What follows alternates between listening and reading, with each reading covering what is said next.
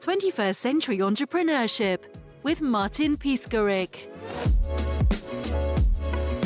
I probably spent 10 years of my life at the age of 24. Meaning that for a long period of time in my life, I wanted to pretend that I was 24 so that way people could take me serious in business. You know, I mean, I was 16 running a snow removal company and going door to door selling printing and promotional material. And um, yeah, nobody could tell how young I was. The fact that I was 16, I thought it was one of my disadvantages um, and actually turned out to be my superpower.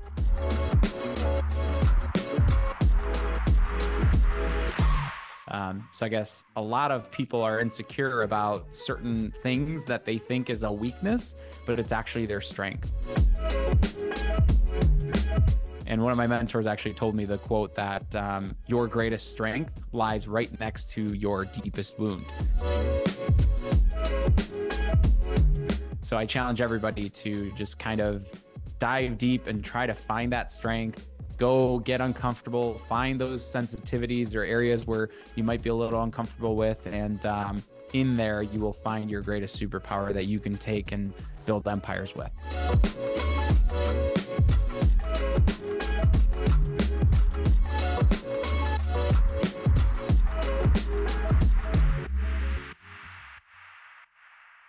I'm Alex Duta. I'm a 27 year old young entrepreneur out of the Chicagoland area, working on my second eight figure company currently. I strive to be the best husband, father, leader within the community that I can be. Um, and I also recently launched a book called Restoration Millionaire. So currently can add the title of author to my name.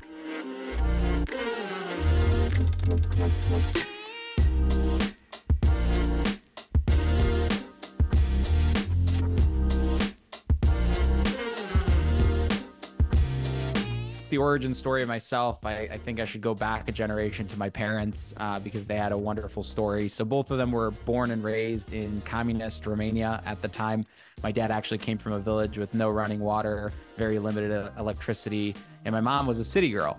Um, she grew up in a very communist city mindset. She was supposed to be a doctor or a lawyer. Never ended up having to marry the villager, um, but that's exactly kind of what she did.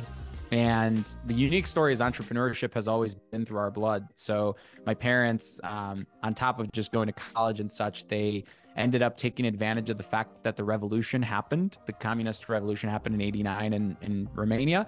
And all of a sudden, foreign items became super popular. So they would drive, uh, they'd actually hop on a bus from Romania to Turkey, and then they'd go to the bazaars and they would find all kinds of clothes um, that were Turkish clothes that the Romanians haven't seen, and then they would bring them to Romania and sell them there. At some point, they met an American guy who would sell pens that were misprints. So imagine like Kodak misspelled, right? And then they would have thousands of those kinds of pens and they had to do something with them. So this guy would ship them to Romania and then my dad would sell quote unquote American pens to these Romanians. So it's really cool how they found that dive, you know, that diversification or that new thing. Um, and it worked really well. And ultimately, because of the American guy with pens, is how we ended up in the States. So that guy applied for this thing called the immigration lottery or the visa lottery in the States. And it's basically like a lottery where you get to win American papers. And my parents um, basically won that. So a year later, they packed up everything, started from zero, moved to beautiful Boston. At the time, I was about uh, one and a half. I actually took my first steps on American soil. And um, kind of growing up, my whole life was the typical immigrant child life. Uh, parents were super busy trying to build this empire. Um, they were trying to build this world for their kid, like every immigrant wants. And, um, you know, there's a lot of challenges, there's pros and cons, but I'm very blessed that at the end of the day, I grew up within uh, the States. A cool quote, actually, what I think that they strived for was to build the best world possible for their child. And that's kind of what every immigrant person wants for their children. But actually, what they, the coolest part of what I think they did with both me and my brother was that they built the best children for the world. So that was actually um, a super cool realization that I have right now, and uh, a principle that I'm taking and applying to to grow my kids.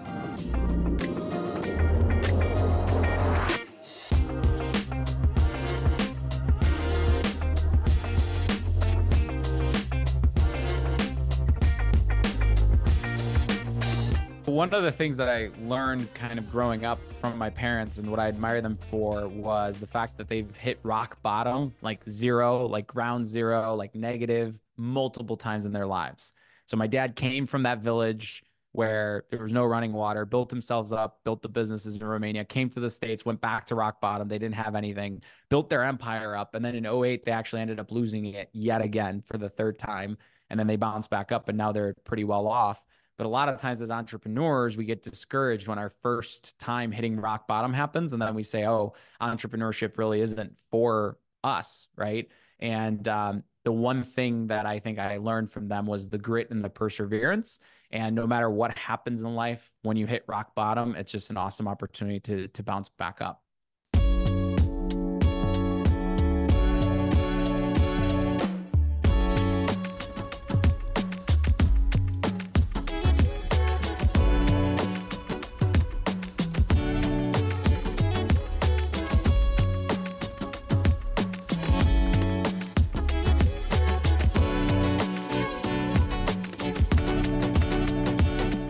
Growing up in this family of first generation immigrants, as a lot of people could probably relate, we didn't have the a lot of the fa- family bonding that typical families have because mom and dad were always working.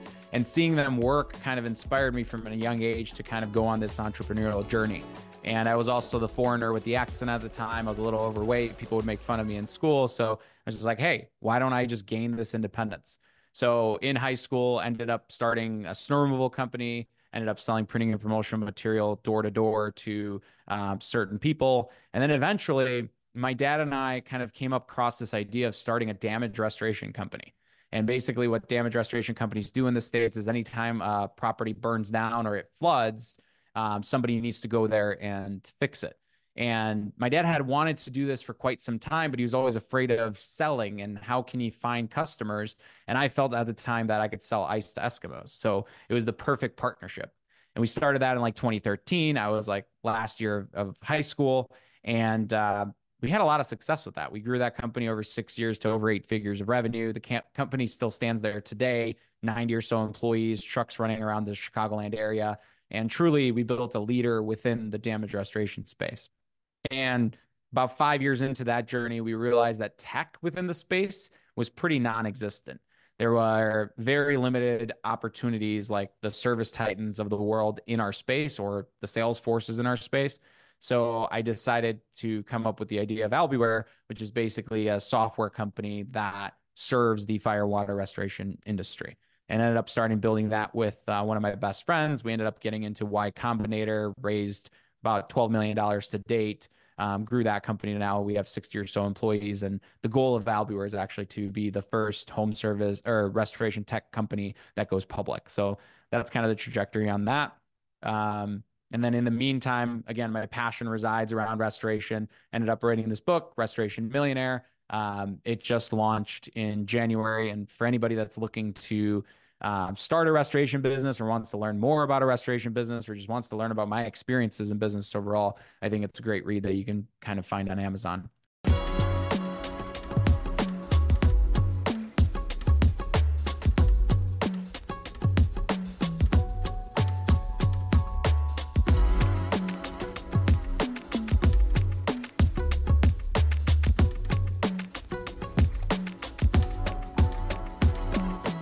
One of the big mindset shifts that I realized that became kind of my superpower is the ultimate responsibility of a founder and the CEO is to have a vision that's big enough, a dream that's big enough for other people's dreams to kind of fit within.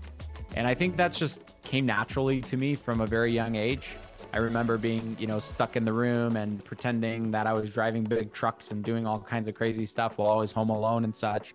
And that eventually evolved into you know, coming up with crazy ideas of, hey, we can have this damage restoration company that can service, you know, thousands of people's homes within the Chicagoland market. And that also then turned into the crazy idea of Albiware of, hey, we're going to take this company that nobody else thinks that we could take it public to a publicly traded company where thousands of other people are able to win and create wealth through it.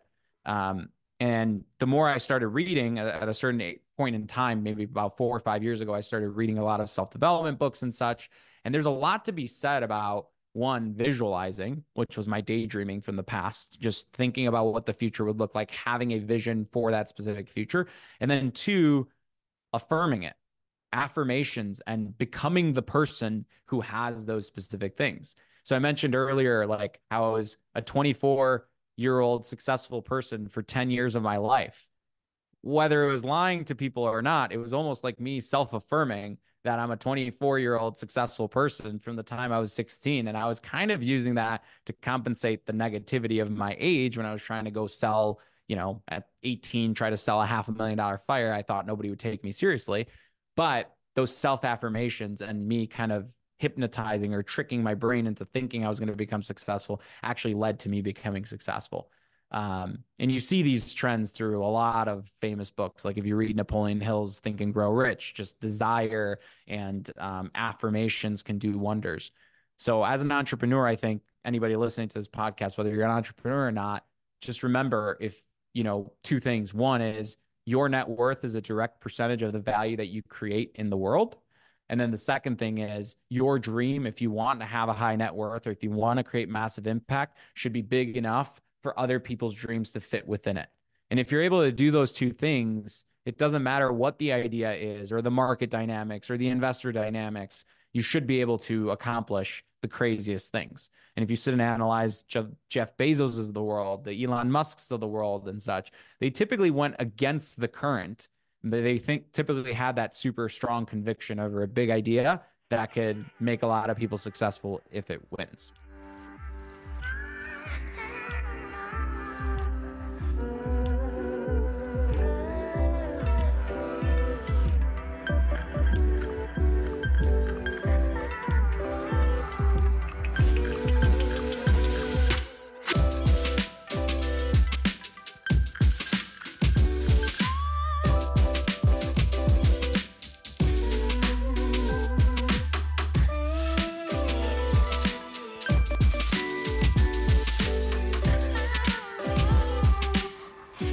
I live my entire life currently by focusing on going all in 110% in four different areas of life.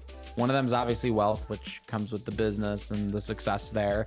The second one's health, my physical body and how it is. My third one is love, which is my relationships with my family, my daughter, you know, friends, and so on and so forth. And then my fourth one, spirituality, or my relationship with, call it God, the greater good, so on and so forth. And um, before it wasn't really all that way. And i ex- experienced this burnout. So starting out in my career i was focused on just wealth 16 hour days run run run go all in. Didn't really focus on anything else. And it ended up going from like 180 pounds to 260 pounds. So i was a pretty big guy. And then covid hit. And when covid hit i ended up actually catching covid and ended up in the hospital for about four weeks. And i was at that point where i was like man is life really gonna keep happening or not. It was it was not a really fun time at all. And at that point, when I got out of the hospital, I had like blood clots, couldn't walk for a while. Like it was a rough recovery. And I vowed to myself, hey, I don't care if I lose all my wealth, I need to get my health back in track. So I went 110% into health, went on this whole weight loss journey, you know, focused on building myself back up, followed Andy Frisella's 75 hard challenge. And what I realized is when I went 110% on health, I didn't have to take anything away from the wealth. Now, as entrepreneurs, we're told, oh, you can't have it all, go pick one, but you can actually have it all. And the healthier you are, the more you show up in business. So then I did the same thing. When my daughter was born, I focused in on love. I don't want to lack time, just like my parents lack time with me with my daughter. So let me focus on spending time and going all in on that. And that went perfectly well. And then spirituality. And bottom line is, I believe that burnout happens when you focus 110% on one pillar of life and neglect all the other ones. But you can actually have it all and you can go 110% on all of them. And as long as you're going all in on all of them, you won't ever burn out because each and every one of them kind of balance each other out.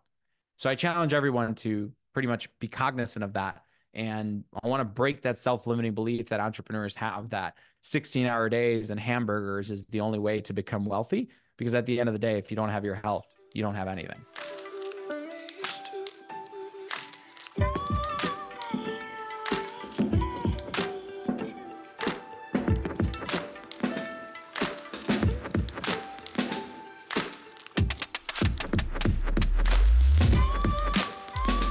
a lot of times people ask me related to the subject of social responsibility and some people kind of take it politically and such i think we all have a wonderful superpower each and every one of us that we don't really tap into um, in that aspect. And that is our ability to be the lighthouse and inspire the world. And not enough of us do that because imposter syndrome kicks in.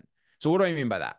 If you're successful at a specific thing let's say you're successful at bike riding or you're a para athlete or whatever you are if you're not sharing that with the world because you think it's cocky or you're going to show off, you're actually holding the world back from being inspired by that one thing.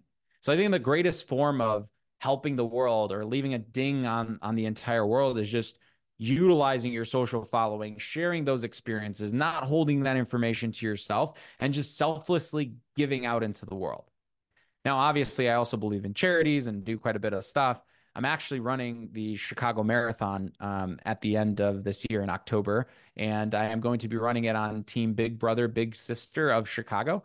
And we actually have a fundraiser uh, for that. So if anybody wants to feel so generous and, and donate to the cause, but what I really like about that organization is they pair up mentors with inner city children that probably don't have as many opportunities or probably have some sort of thing that impedes them in life. So they pair up somebody who's maybe a successful entrepreneur or a doctor or a lawyer with somebody who's growing up in a in a rough childhood or rough household.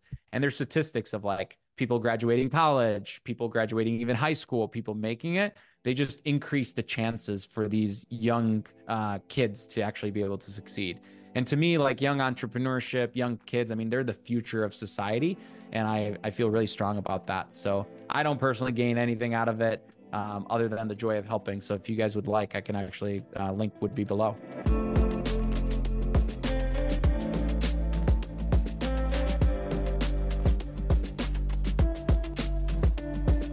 So, in conclusion, I believe that the reason we exist in this world is to build the best version of ourselves and then share it and pour it back into the world. And like I told you, my version of that is through social media. So, I'd love for each and every one of you guys to follow me as I pour a lot of different lessons from the good, bad, and ugly there. And you can follow me on pretty much any social media platform from TikTok, Instagram, Facebook at it's Alex Studa. Um, and yeah, on that social media platform too, if you want to donate to the to the Chicago Marathon fundraiser, you can also. And if you want to find my book, you can find it there as well. 21st Century Entrepreneurship with Martin Piskarik.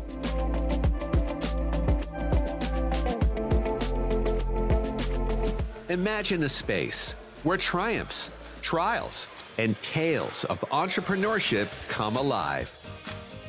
Welcome to the 21st Century Entrepreneurship Podcast, a gold awarded journey hosted by Martin Piskorik, connecting with listeners in 95 countries and ranking in the top 0.5% of all podcasts. Join our exclusive community, elevate your perspective, and embark on the path to success.